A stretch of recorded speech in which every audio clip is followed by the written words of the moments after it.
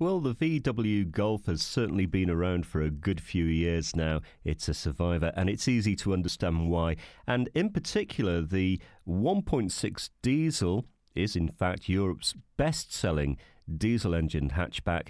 Around 74 to the gallon, combined maybe early 80s you'll be looking at on that longer run. So, certainly running costs easy on the pocket. And to be fair to VW, they're well known for building reliability into their cars and a very solidly built car the VW Golf is indeed. Don't think you'll be disappointed. This not only drives brilliantly, it's going to look after you when it comes to running costs. I think it does make a lot of sense.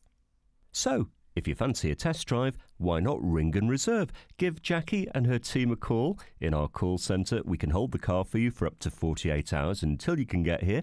Bring your licence with you, then you can have a test drive, see what you think, and don't forget we can part exchange, arrange finance,